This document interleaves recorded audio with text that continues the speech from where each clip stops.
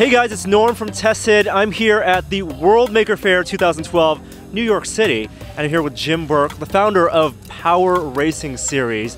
What is Power Racing Series? Well, Power Racing Series is a $500 electric motorsport. Basically, you have $500 to take a Power Wheel, hack and mod it, put better motors in it, better batteries, and then you go through a series of challenges. Power Wheels. These are the kids racing cars you find in Toys R Us. I really wanted one as a kid, like the Batmobile.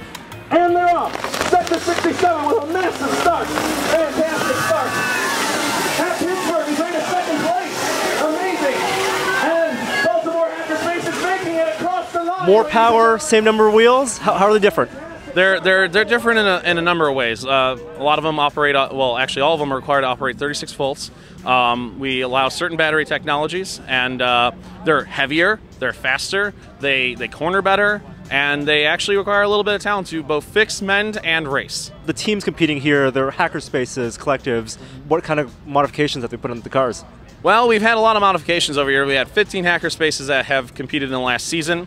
Um, that's roughly 23 to 26 cars. Modifications range all over the board to uh, the kind of motors that they use. Some are using brushless, some are using brush motors. Other than, other than that, there's like different battery technologies every once in a while. We have the AGM sealed cell batteries, and we have uh, um, we have lithium pro uh, lipo batteries as well. Um, but we also have there's there's a different uh, a- aspect of the Power Racing Series involves uh, the moxie of the cars, whether or not they're decorated. They have uh, certain things they do. Some of them they put car horns on there just for fun, and uh, the idea is to get the crowd involved and to get the crowd invested in the, into the series and actually get to know some of the hacker spaces at the same time.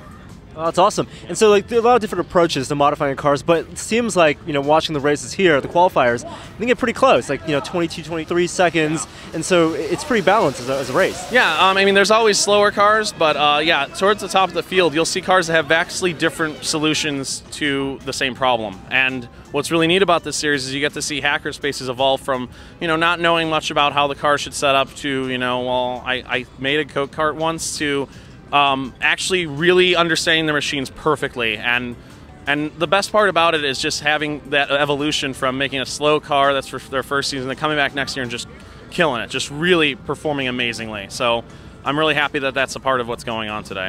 And the racetrack here is just like a parking lot. I mean, what do you what do you think about when you design a racetrack for these type of cars? Um, for this, we try to keep the tracks as safe as possible. Sometimes we have you know certain limitations on the, the length and the width and the, the kind of materials we're using to, as the barriers. But the, the, the main goal is to create a racetrack that is that keeps them at bay, keeps the crowds far away, but at the same time gives them to you know gives them a chance to really fight it out.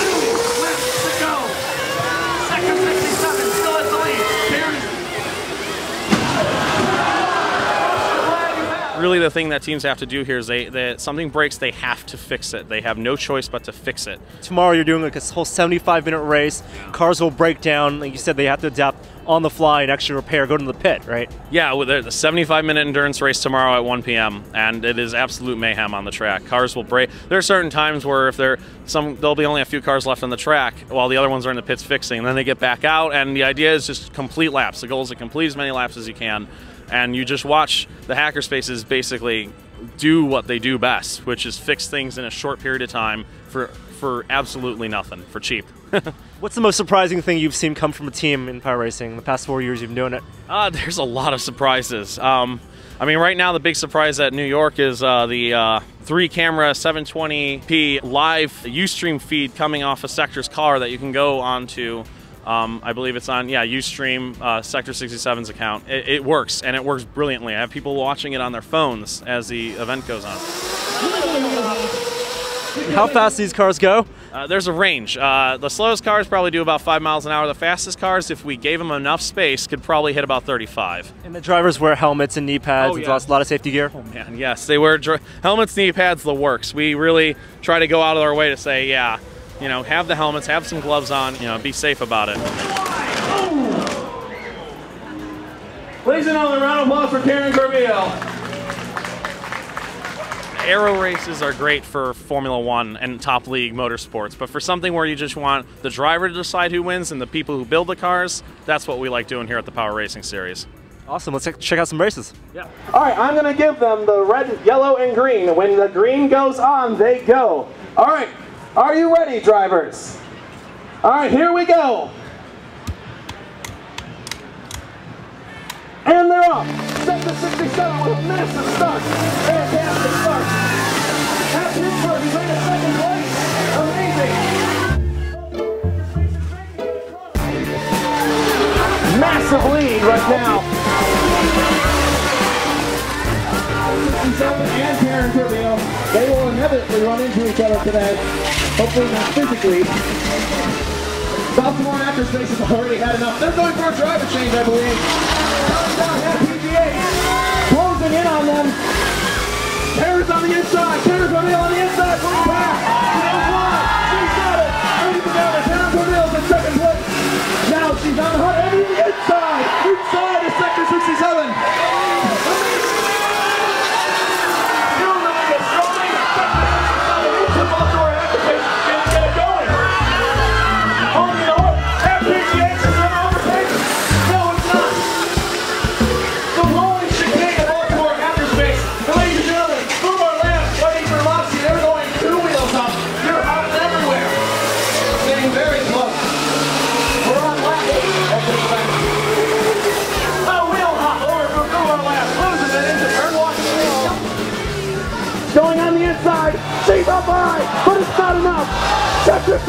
67 wins. Pat PGA second. Coming 61 and third, and Karen and fourth. Ladies and gentlemen, give your moxie up. Give up that moxie. She fought all the way. Congratulations, Sector 67. Ladies and gentlemen, a round of applause for Sector 67. A fantastic victory, a gripping last lap. All right, so that was an amazing race. I'm here with Micah Erickson of Sector, 60, Sector 67. You just won this 15 lap race. How do you feel? It's it's good. It's good to uh, you know have a good competition. Uh, we entered the competition like uh, two years ago, or uh, last year, I guess was our first year, and we did pretty well there. Uh, we really had one really strong competitor, which is still our strong competitor right now. It's I3 Detroit, Karen Corbeil, the Cannonball.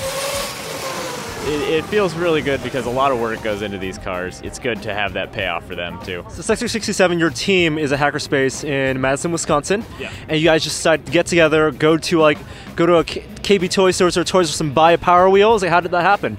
So actually, we have a uh, pretty active, uh, you know, makerspace, hackerspace, and uh, we actually a lot of these came from uh, members that are that they want to spend more time in the hackerspace, but they don't really, and they pay attention more on the mailing list and such. So basically, we had these like handed to us or referred to us. They say, hey, you know, there's this uh, Power Wheel sitting on a curb at this place, and we just run out and get it.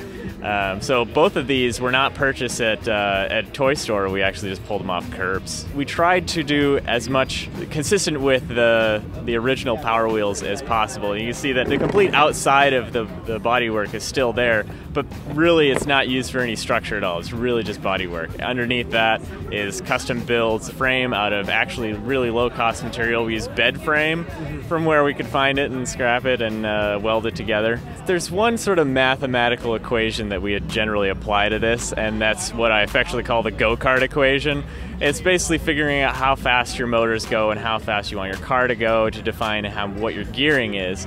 And then once you figure out your gearing, then it's really just a matter of, of you know how much can you how much current can you push into the motors before they blow up you know? Uh, we really are running these things like five times more than they're designed to. So we've had to basically added cooling to the system water cooling. It sounds more fancy than it is. We basically have water spraying on the motor. You know we try to keep it as toy car looking as possible so that still people get really excited about it and it's it's kind of cool looking. So that's that's basically the you know what what we're trying to do now. What's next we got a few ideas in the works, but nothing solid right now.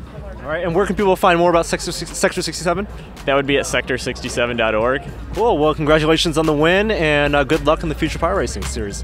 All right, thank you very much.